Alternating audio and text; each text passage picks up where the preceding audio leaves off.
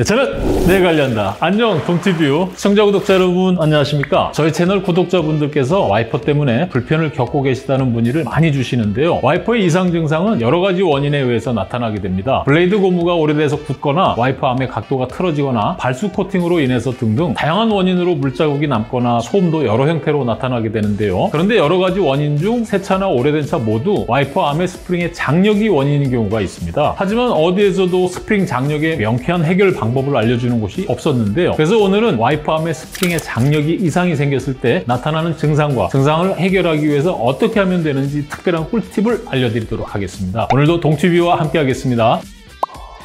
동티뷰. 우선 구독자 두 분이 보내온 내용부터 요약을 해줄게. 첫 번째 분은 닉네임 옹심님이신데 새 차를 뽑은 지 3개월 정도 되셨고 BMW 차량이고 새 차인데도 드드득 하고 떨리는 증상이 생겼다는 내용이었고 또 다른 한 분이 닉네임 민구님은 2017년식 K5 차량이고 와이퍼를 작동시키면 가운데 부분이 잘 닦이질 않고 물기가 남는다는 내용이었어. 두 분 다 와이퍼도 교체해보고 유막 제거, 와이퍼암 각도 조정 등 안 해본 곳이 없다고 하셨는데 두 분의 내용을 봤을 때 서로 다른 증상이지만 두 차 모두가 와이퍼 와이퍼 암의 스프링의 장력이 원인이겠다는 생각이 들었어. 여기 와이퍼 암을 보면 뒷면 안쪽으로 인장 스프링이 한 개 있는데 이 스프링의 역할이 와이퍼가 움직일 때 인장 스프링의 탄성으로 적당한 누름 압력이 생기게 해서 물기 제거가 용이하게끔 하는 역할을 하는 거야. 만약 이 인장 스프링의 탄성이 너무 강하거나 너무 느슨해도 문제가 발생되는데 탄성이 너무 강해서 과도한 압력이 생기면 와이퍼 끝부분이 뜨면서 드드득 하는 증상이 생기게 되고 반대로 탄성이 약해서 부족한 압력이 되면 와이퍼 가운데 부분이 뜨면서 부분적으로 잘 닦이지 않는 증상이 생기게 되는 거야. 옹심님의 차량이 새 차이고 또 독일 차량인데 BMW나 벤츠 같은 차량의 소유자들이 옹심님하고 같은 증상을 많이 호소하고 있더라고. 독일 차량의 와이퍼는 국내 차량의 와이퍼에 비해서 스프링의 강도가 좀 더 센 편이고 눌러주는 힘이 강한 편이라고 해. 이는 자동차를 설계할 때 독일의 아우토반 같은 고속 주행이 많은 환경에서 고속 주행 시 떨림을 방지하기 위해서 스프링의 장력을 강하게 했다는 말도 있더라고. 반대로 민구님의 차량은 약 7년 정도 된 차량인데 이쯤 되면 스프링의 장력이 물리적 으로 전체적으로 느슨해질 수밖에 없고 특히 겨울철 눈이 올 때 와이퍼를 세워두는 습관으로 인해 스프링의 장력이 늘어지고 누르는 힘이 약해지게 되는 거지.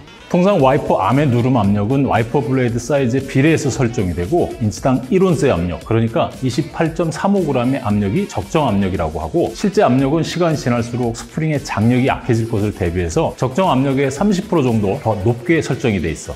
여기 올 뉴 쏘렌토 차량의 와이퍼 암을 내가 최근에 교체를 했는데 누름 압력이 얼마나 되는지 전자저울을 이용해서 확인을 해볼게. 이렇게 와이퍼 블레이드를 빼고 전자저울 위에 와이퍼 암의 끝이 닿도록 해볼게. 운전석 와이퍼 사이즈가 26인치니까 1온스를 곱하면 737g이 적정 압력인데 재보니까 927g으로 나왔고 그럼 적당한 정도인 거지. 그럼 여기 BMW 독일 차량의 운전석 와이퍼 암의 누름 압력이 얼마나 되는지 체크를 한번 해볼게. 이 차의 운전석 사이즈가 26인치니까 이 차도 대략 737 7g 정도로 나와야 하는데 확인해 보니까 1161g이 나왔고 역시 국산차에 비해서 좀 더 높게 설정이 된 걸 알 수가 있지. 아까 말한 대로 이렇게 압력이 강하면 와이퍼 끝부분이 뜨면서 소음이 발생되게 되는 거야. 이렇게 스프링의 장력이 강할 때는 장력을 줄여주면 되겠지. 와이퍼 암을 뒤로 꺾어 세운 상태에서 이렇게 일자 드라이버나 이런 오리발 리무버를 이용해서 스프링의 틈 사이에 공구를 끼우고 힘을 줘서 스프링을 약간 벌려주면 되는 거야.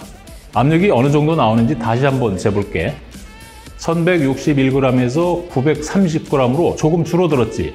그럼 반대로 민구님 차처럼 압력이 낮아졌을 경우엔 인장 강도를 높여줘야겠지. 여기 이 차량 운전석 사이즈가 22인치인데 그럼 대략 623g 정도로 나와야 하는데 확인을 해볼게.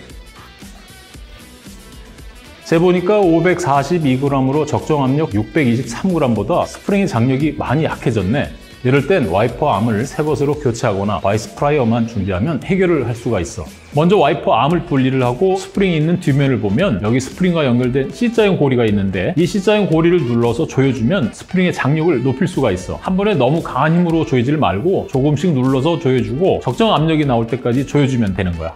초보자들은 작업이 어려울 수 있는데 그럴 땐 가격도 비싸지 않으니까 와이퍼 암을 새로 구매하는 것도 좋은 방법이야. 시청자 구독자 여러분 잘 보셨습니까? 와이퍼가 자동차 안전에 있어서 중요한 역할을 수행하고 있다는 것을 인식을 하고는 있지만 정작 와이퍼의 관리는 소극적인 것 같습니다. 나는 물론 모두의 안전을 위해서 내 차의 와이퍼는 어떤지 체크해 보십시오. 감사합니다. 내 차는 내가 관리한다. 수고했어, 동티뷰.